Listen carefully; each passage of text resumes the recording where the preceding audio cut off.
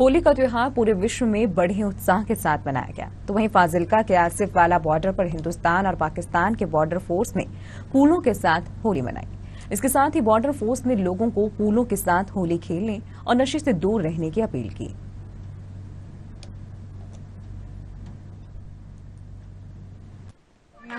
सबके प्रति शुभ भावना रखनी है, कल्याण की भावना रखनी है और मिलजुल करके हमें आगे बढ़ना है।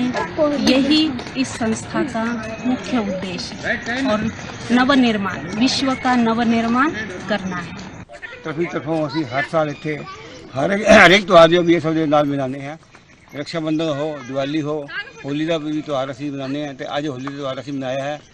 ਜਵਾਨਾਂ ਨਾਲ ਮਿਲ ਕੇ ਕੁਛ ਵਰਸਾ ਕਰਕੇ ਇਹਨਾਂ ਨੇ ਮਨਾਇਆ ਹੈ ਕਿਉਂਕਿ ਅਸੀਂ ਗੁਲਾਲ ਹੋਲੀ ਦੂਜੀ ਤਾਂ ਲਾ ਨਹੀਂ ਸਕਦੇ ਵਰਦੀ ਪਾਈ ਹੁੰਦੀ ਹੈ ਤੇ वैसे तो आज होली है होली मतलब जो हो गया हो गया उसको बीती को बिंदी लगा दो और सदा सकारात्मक रहो पॉजिटिव रहो इसको कहा जाता है हो गई और होली मतलब हम परमात्मा के हो गए हाँ, जो सदा सदा सकारात्मक सोचता है पॉजिटिव सोचता है, जो तनाव से मुक्त रहता है और ज्ञान का कलर अपने जीवन में लगा करके सदा पॉजिटिव रहता है।